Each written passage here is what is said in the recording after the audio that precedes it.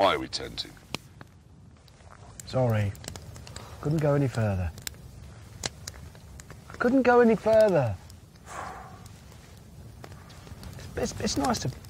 It kill me. All right. I wish I was dead. We're surrounded by mountains. I bet in the uh, morning it'll be a beautiful view. It will be beautiful. I bet you when it's. I've got to get through the night while tenting.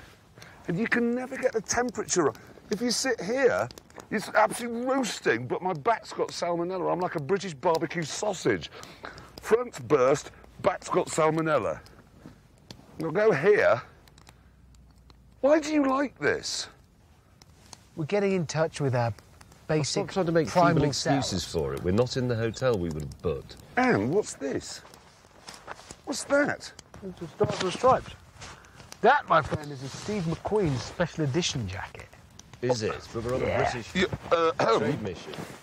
British, and it's got a Union Jack lining, and it's got a British flag there.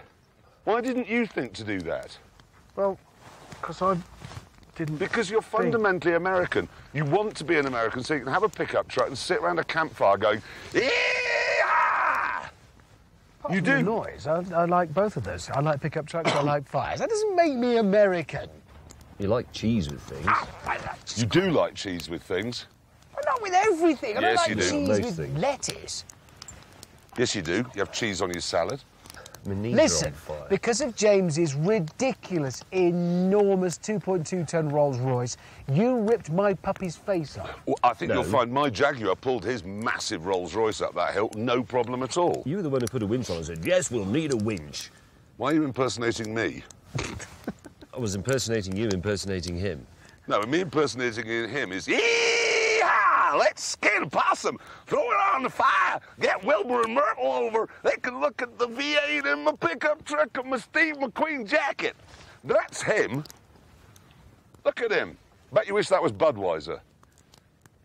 You do, don't you? I'm you like not- this? I'm still in mourning for my car's face that you pulled off. I you didn't pull it off. didn't You pulled you it off. pulled it off. Just peeled off. You can see his skull. It's like Terminator when all the skin's melted off.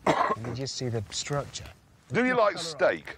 Yes, I do. Do you like cheese? Yes, I do. Do you There like you go. pickup trucks? Yes, I do. Do you like tenting? Yes, I do. Do you like Harley Davidsons? Have you got some cowboy boots and have you got a big hat with a piece of string underneath it that says Made in USA inside it? You are American. I'm not American. You are American. You are. You've been an I'm American. Why did you buy that? Because it looks good. It's a Steve McQueen special one. I was pleased with it. And what am I going to sleep in? A tent. Not with him. No, no. I went to the got our own North tent. Pole sleeping with a six-foot maggot. No, sorry, I was the You maggot. were You, the sweary maggot. you were a six-foot sinus. You breathe out! well. Breathe out! All the airs. are- He starts, honestly, it's like this.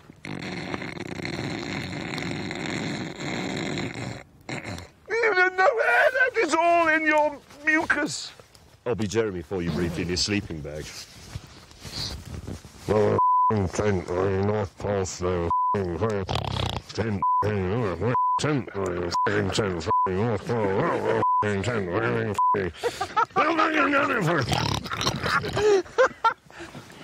For eight hours.